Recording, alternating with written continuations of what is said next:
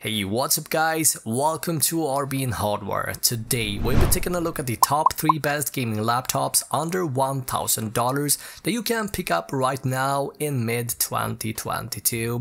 With so many machines to choose from, it can be quite confusing to figure out which one to get, especially if you aren't up to date with the latest GPUs, processors and so forth, and perhaps more importantly what gaming performance you actually can expect. So I decided to go through pretty much all laptops currently available around the $1000 mark and I picked up three machines which I'm happy to recommend providing you guys with everything you need to know, such as display, design, portability, as well as gaming performance, helping you figure out which laptop to pick to fit your need and budget. Now if you see anything you like, I have all laptops listed down in the video description. Now all machines mentioned are in no particular order, however I will be leaving my personal favorite at the end of the video. With that said, let's take a look at the first laptop which comes from Gigabyte and it's called A5K1 now currently this machine is on sale and it is now down for $100 down from $1400. Let's take a greater look at the specifications and see what makes this machine worth picking up. For the CPU we find a fast and speedy 8 core 16 thread Zen 3 based Ryzen 7 5800H an RTX 3060 with 6 gigs of VRAM, 16 gigs of RAM, 1TB SSD storage, as well as a super fast 15.6 inch IPS based 240Hz display, perfect if you're into competitive gaming. Let's dive a bit deeper and talk about the specifications and for starters, the processor is brilliant. 8 cores in 2022 makes so much sense, especially if you're planning on holding on to your machine for quite a while. Let's say for example you decide you wanna perhaps start streaming while gaming or Maybe you want to do some other types of heavy CPU bound workloads, no problem with this type of processor. Now the H at the end of the processor name means that the chip is built with gaming and intensive workload in mind and are closer to AMD's desktop processor in terms of performance. Now for the graphics card we find an RTX 3060 GPU capable of maxing out most games at 1080p, but it has enough RAM to even run most of your favorite games at 1440p resolution with fairly high level of details as well, and lower demanding competitive shooters such as Valorant will easily run locked at 240 FPS, no problem. Now DLSS allows for even higher frame count and if you haven't touched this feature before, you will be amazed how much performance you can actually get from the RTX 3060.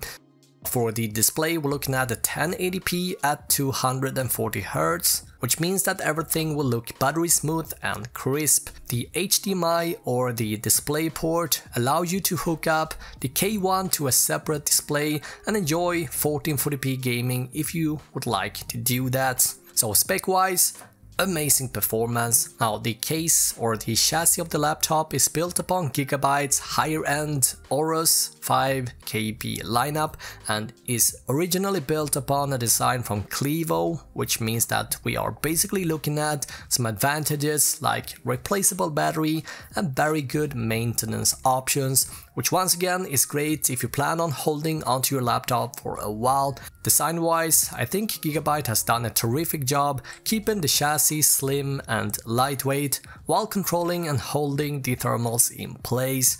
The overall design doesn't scream much gaming, which is a plus, at least in my opinion.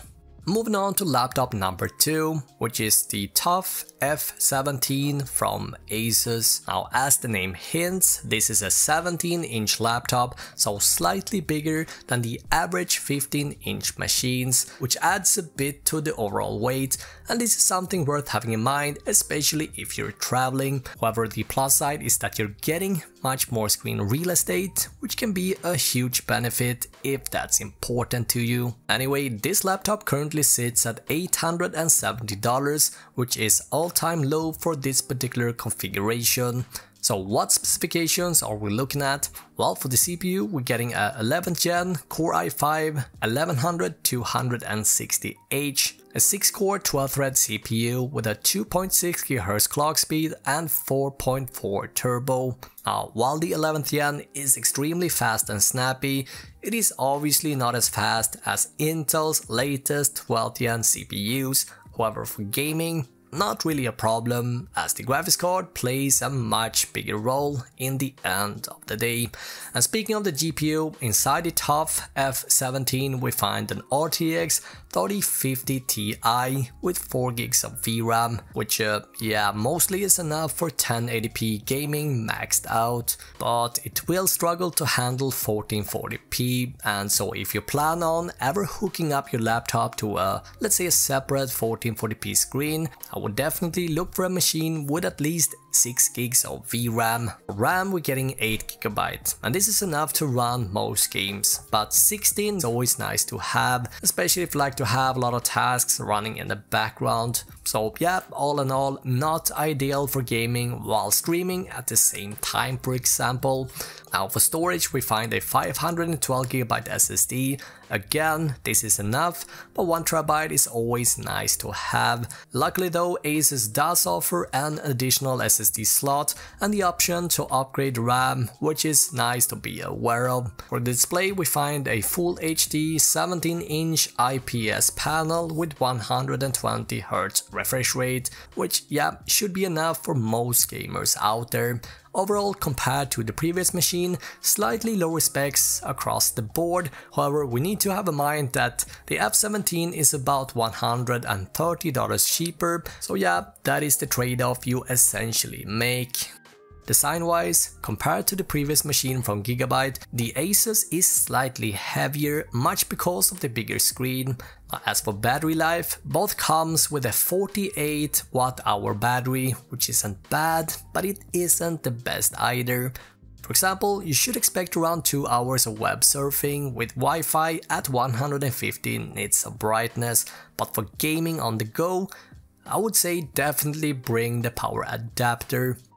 Moving on to the last laptop on the list, the GF65 from MSI. This machine comes in at $830, so definitely the cheapest one on the list. So let's see how this one holds up compared to the previous two machines. For the processor, we're looking at the Core i5-10500H. This is a 6-core 12-thread processor with a 2.5 GHz base clock and 4.5 turbo.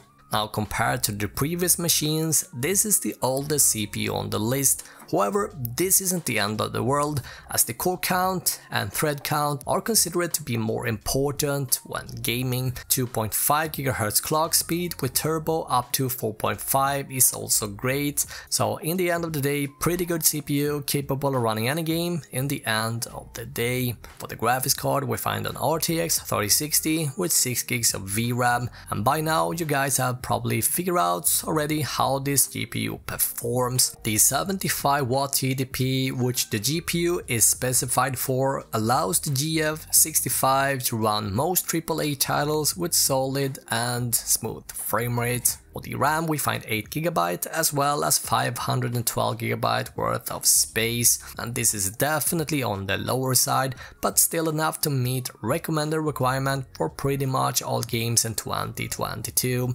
And considering the $830 price tag, this is expected guys. Now design wise, personally uh, not the nicest looking laptop around, however what I do like is the thin design and the footprint. It comes in at a weight of only 1.86 kilograms, making it the lightest laptop on the list. The lightweight should make it the perfect machine to bring on the go, however because of the rather low 51 watt hour battery, definitely recommend having the power cord around you and the battery life should last around 2 hours. In terms of screen, we find a 15.6 inch 1080p IPS display at 144Hz, which makes it perfect for any type of gamer, competitive gaming included.